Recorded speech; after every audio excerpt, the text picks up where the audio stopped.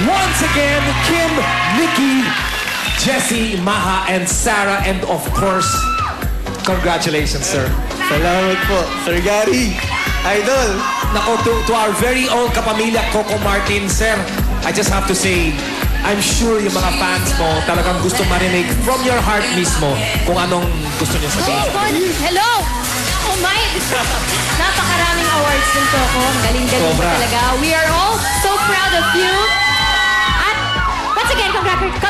Congratulations, Coco. Ayan, natataranta ako. Gwapo kasi ni Coco eh. Sana magka-work tayo ulit, Coco, no? okay!